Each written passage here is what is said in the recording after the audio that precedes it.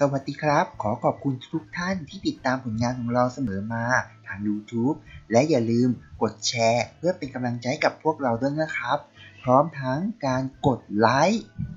ข้อมูลใหม่ๆ ซึ่งเราจะมีเผยแพร่ทุกๆวัน และหากท่านใดติดอกติดใจทางด้านข้อมูลของเรา อย่าลืมกด Subscribe เออหมายถึง Subscribe จริงๆนะครับ ไม่ใช่ Subscribe อ่า Subscribe และลืมบอกไป เดี๋ยวนี้เรามีทั้ง Facebook แล้วก็ Twitter ในการรับข้อมูลแล้วนะครับ อย่าลืมไปกดไลค์และกดให้กำลังใจ หรือคอมเมนต์ข้อมูลต่างๆ เพิ่มเติมได้ด้วยนะครับ และถ้าหากท่านใดสนใจข้อมูลใหม่ ๆ คุณสามารถทิ้งไว้ที่หน้าแฟนเพจของ Facebook เพื่อรับข้อมูลฟรีครับ เราจะส่งให้ทางอีเมล เป็นอีบุ๊กเลย ขอบคุณนะครับที่ตามรับชม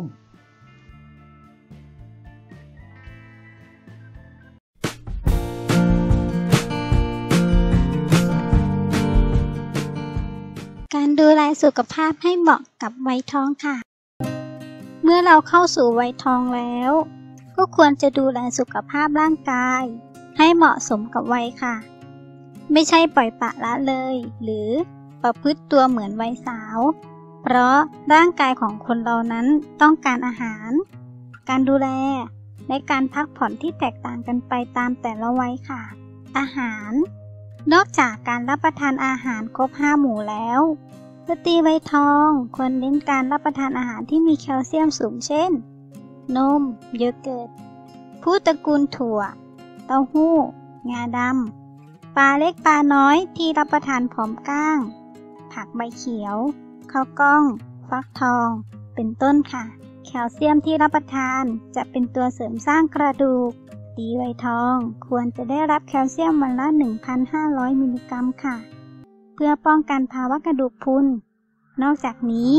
ควรจะควบคุมระดับไขมันในเส้นเลือด โดย งดรับประทานอาหารที่มีคอเลสเตอรอลสูง เช่น หอยนางรม ไข่แดง เป็นต้นค่ะ ต่อมาค่ะ ฝึกการควบคุมอารมณ์ หลีกเลี่ยงความเครียด เมื่อเวลาเครียดให้หายใจเข้าออกยาว ช้าๆ และใจเย็นๆ ค่ะ ให้มีความคิดในทางบวก และทำจิตใจให้แจ่มใสเบิกบานค่ะ ต่อมาค่ะ ควรนอนพักผ่อนให้เพียงพอ เพื่อรักษาอารมณ์ให้เป็นปกติค่ะ ต่อมาค่ะ ออกกำลังกายอย่างสม่ำเสมอ เช่น การเดิน การเดินเร็ว การวิ่งเหยาะๆเต้นรำรำมวยจีน เต้นแอโรบิก ว่ายน้ำ เป็นต้นค่ะ สุดท้าย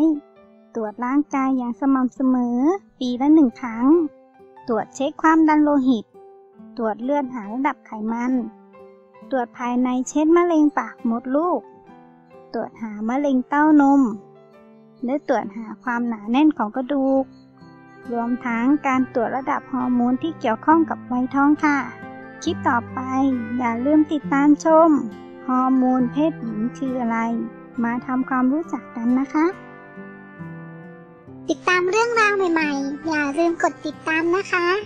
แบ่งปันข้อมูลกดแชร์ ขอบคุณมากนะคะ ที่ติดตามผลงาน สวัสดีครับ ขอขอบคุณทุกท่านที่ติดตามผลงานของเราเสมอมาทาง YouTube และอย่าลืมกดแชร์ เพื่อเป็นกำลังใจกับพวกเราด้วยนะครับ พร้อมทั้งการกดไลค์ข้อมูลใหม่ๆ ซึ่งเราจะมีเผยแพร่ทุกๆวัน และหากท่านใดติดอกติดใจทางด้านข้อมูลของเราอย่าลืมกด Subscribe เออหมายถึง Subscribe จริงๆนะครับ ไม่ใช่ Subscribe อ่า Subscribe และลืมบอกไป เดี๋ยวนี้เรามีทั้ง Facebook แล้วก็ Twitter ในการรับข้อมูลแล้วนะครับ อย่าลืมไปกดไลค์และกดให้กำลังใจ หรือคอมเมนต์ข้อมูลต่างๆ เพิ่มเติมได้ด้วยนะครับ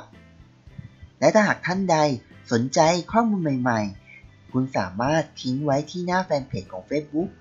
เพื่อรับข้อมูลฟรีครับ เราจะส่งให้ทางอีเมล เป็นอีบุ๊กเลย ขอบคุณนะครับที่ตามรับชม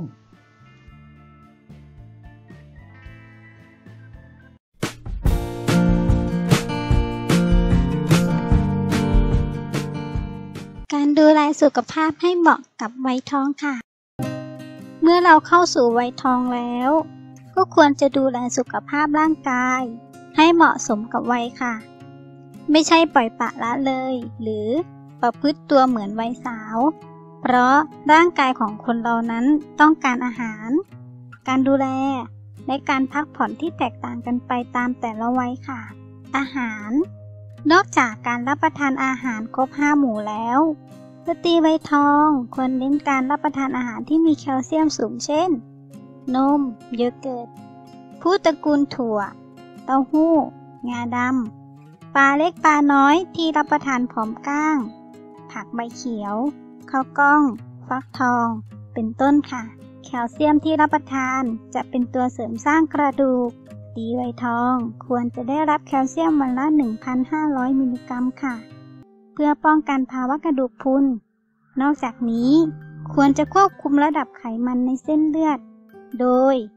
งดรับประทานอาหารที่มีคอเลสเตอรอลสูง เช่น หอยนางรม ไข่แดง เป็นต้นค่ะ ต่อมาค่ะ ฝึกการควบคุมอารมณ์ หลีกเลี่ยงความเครียด เมื่อเวลาเครียดให้หายใจเข้าออกยาว ช้าๆ และใจเย็นๆ ค่ะ ให้มีความคิดในทางบวก และทำจิตใจให้แจ่มใสเบิกบานค่ะ ต่อมาค่ะ ควรนอนพักผ่อนให้เพียงพอ เพื่อรักษาอารมณ์ให้เป็นปกติค่ะ ต่อมาค่ะ ออกกำลังกายอย่างสม่ำเสมอ เช่น การเดิน การเดินเร็ว การวิ่งเหยาะๆเต้นลำลำมวยจีน เต้นแอโรบิก ว่ายน้ำ เป็นต้นค่ะ สุดท้าย ตรวจร่างกายอย่างสม่ำเสมอ ปีละหนึ่งครั้ง ตรวจเช็คความดันโลหิต ตรวจเลือดหาระดับไขมัน ตรวจภายในเช่นมะเร็งปากมดลูก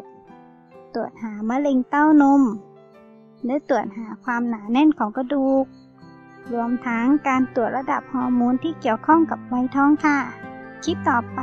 อย่าลืมติดตามชม ฮอร์โมนเพศหญิงคืออะไร มาทำความรู้จักกันนะคะ ติดตามเรื่องราวใหม่ ๆ อย่าลืมกดติดตามนะคะ แบ่งปันข้อมูลกดแชร์ ขอบคุณมากนะคะ ที่ติดตามผลงาน สวัสดีครับ ขอขอบคุณทุกท่านที่ติดตามผลงานของเราเสมอมาทาง YouTube และอย่าลืมกดแชร์ เพื่อเป็นกำลังใจกับพวกเราด้วยนะครับ พร้อมทั้งการกดไลค์ข้อมูลใหม่ๆ ซึ่งเราจะมีเผยแพร่ทุกๆวัน และหากท่านใดติดอกติดใจทางด้านข้อมูลของเรา อย่าลืมกด Subscribe เออหมายถึง Subscribe จริงๆนะครับ ไม่ใช่ Subscribe อ่า Subscribe และลืมบอกไป เดี๋ยวนี้เรามีทั้ง Facebook แล้วก็ Twitter ในการรับข้อมูลแล้วนะครับ อย่าลืมไปกดไลค์และกดให้กำลังใจ หรือคอมเมนต์ข้อมูลต่างๆ เพิ่มเติมได้ด้วยนะครับ และถ้าหากท่านใดสนใจข้อมูลใหม่ๆ คุณสามารถทิ้งไว้ที่หน้าแฟนเพจของ Facebook เพื่อรับข้อมูลฟรีครับ เราจะส่งให้ทางอีเมล เป็นอีบุ๊กเลย ขอบคุณนะครับที่ตามรับชม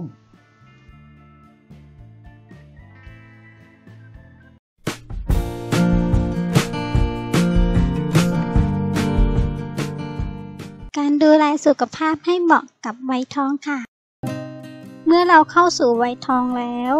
ก็ควรจะดูแลสุขภาพร่างกาย ให้เหมาะสมกับวัยค่ะ ไม่ใช่ปล่อยปะละเลย หรือประพฤติตัวเหมือนวัยสาว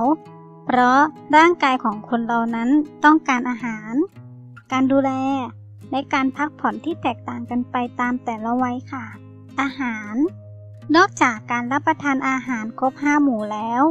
สตรีวัยทองควรเน้นการรับประทานอาหารที่มีแคลเซียมสูงเช่น นมโยเกิร์ตพืชตระกูลถั่ว เต้าหู้ งาดำ ปลาเล็กปลาน้อยที่รับประทานพร้อมก้าง ผักใบเขียวข้าวกล้อง ฟักทอง เป็นต้นค่ะ แคลเซียมที่รับประทานจะเป็นตัวเสริมสร้างกระดูกดีไวทอง ควรจะได้รับแคลเซียมวันละ 1,500 มิลลิกรัมค่ะ เพื่อป้องกันภาวะกระดูกพรุน นอกจากนี้ ควรจะควบคุมระดับไขมันในเส้นเลือด โดย งดรับประทานอาหารที่มีคอเลสเตอรอลสูง เช่น หอยนางรม ไข่แดง เป็นต้นค่ะ ต่อมาค่ะ ฝึกการควบคุมอารมณ์ หลีกเลี่ยงความเครียด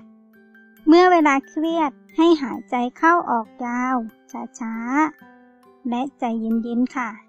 ให้มีความคิดในทางบวก และทำจิตใจให้แจ่มใสเบิกบานค่ะ ต่อมาค่ะ ควรนอนพักผ่อนให้เพียงพอ เพื่อรักษาอารมณ์ให้เป็นปกติค่ะ ต่อมาค่ะ ออกกำลังกายอย่างสม่ำเสมอ เช่น การเดิน การเดินเร็ว การวิ่งเหยาะๆเต้นลำลำมวยจีน เต้นแอโรบิก ว่ายน้ำ เป็นต้นค่ะ สุดท้าย ตรวจร่างกายอย่างสม่ำเสมอ ปีละหนึ่งครั้ง ตรวจเช็คความดันโลหิต ตรวจเลือดหาระดับไขมัน ตรวจภายในเช่นมะเร็งปากมดลูก ตรวจหามะเร็งเต้านม และตรวจหาความหนาแน่นของกระดูก รวมทั้งการตรวจระดับฮอร์โมนที่เกี่ยวข้องกับวัยทองค่ะ คลิปต่อไปอย่าลืมติดตามชม ฮอร์โมนเพศหญิงคืออะไร มาทำความรู้จักกันนะคะ ติดตามเรื่องราวใหม่ๆ อย่าลืมกดติดตามนะคะ แบ่งปันข้อมูลกดแชร์ ขอบคุณมากนะคะ ที่ติดตามผลงาน